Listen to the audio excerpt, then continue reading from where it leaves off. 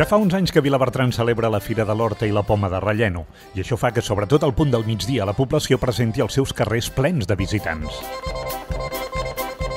La fira combina les parades de verdures de les hortes de Vilabertran amb un mercat d'artesania i productes alimentaris naturals.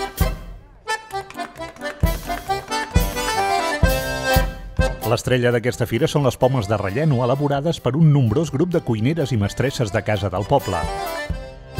Se n'han posat a la venda unes 4.000 i, com sempre, han tingut una gran acollida entre els visitants d'arreu de la comarca.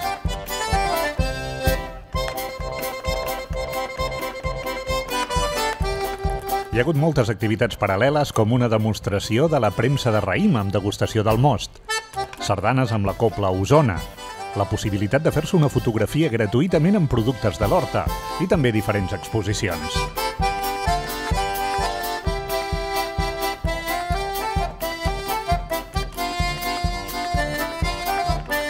Fira de brocanters, visites guiades, el dinar gastronòmic i un ball també formen part d'un complet programa d'activitats que, acompanyat per un molt bon temps, ha portat a Vilabertran milers de persones.